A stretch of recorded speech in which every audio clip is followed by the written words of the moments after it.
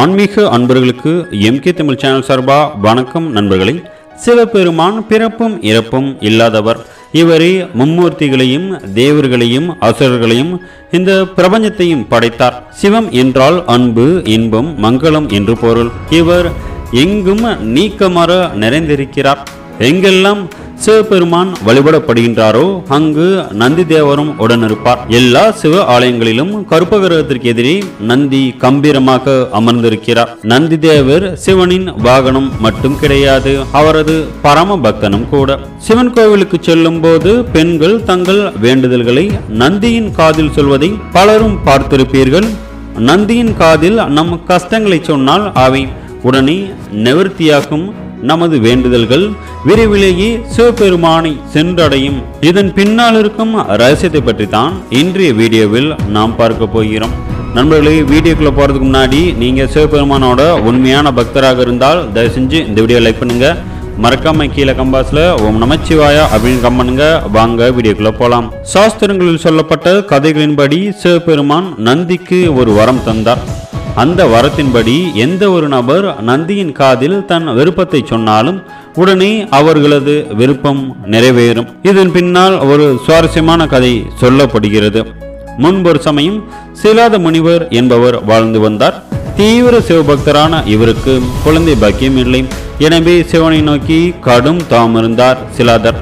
இவரது கடுமையான தவத்தால் மனமகிழ்ந்த சிவபெருமான் முனிவர் முன் தோன்றி சிலாத முனிவரை என்ன வரம் வேண்டும் என்று கேட்டார்.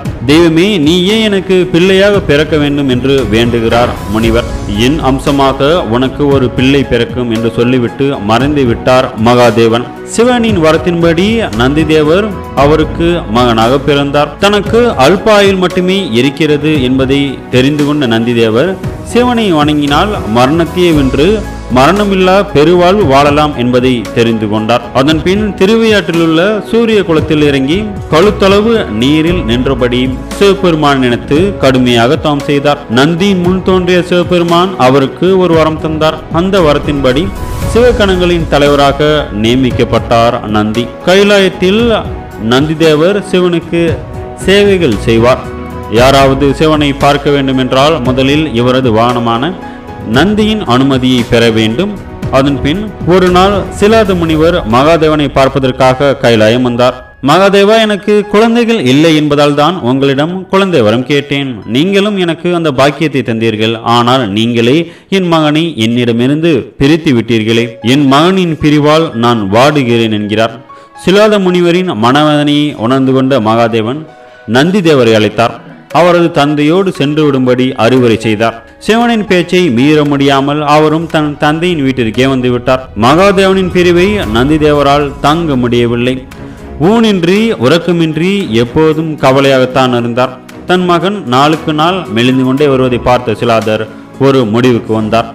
மறுபடியும் சிவனிடம் சென்று மகாதேவா தயவு செய்து என் பிள்ளையை திரும்ப அழைத்துக் கொள்ளுங்கள். உங்களின் பிரிவை நினைத்து அவன் தினமும் கவலைப்படுகிறான் என்கிறார். தன் மீது நந்திதேவர் வைத்திருந்த அதீத அன்பை புரிந்து கொண்ட சிவபெருமான் அவருக்கு ஒரு வரம் தந்தார். நந்திதேவரை இனிமேல் என் பக்தர்கள் உன் காதில் அவர்களது வேண்டுதல்களை சொன்னால் உடனே அது பலிக்கும் என்று அறிவுரை கூறுகிறார். எனவேதான் நந்தியின் காதில் நம் வேண்டுதலை சொன்னால் உடனே அது நிவர்த்தியாகிறது. இதன் காரணமாகத்தான் எல்லா சிவ ஆலயங்களிலும் நந்திதேவர் சிவனுக்கு முன் அமர்ந்திருக்கிறார்.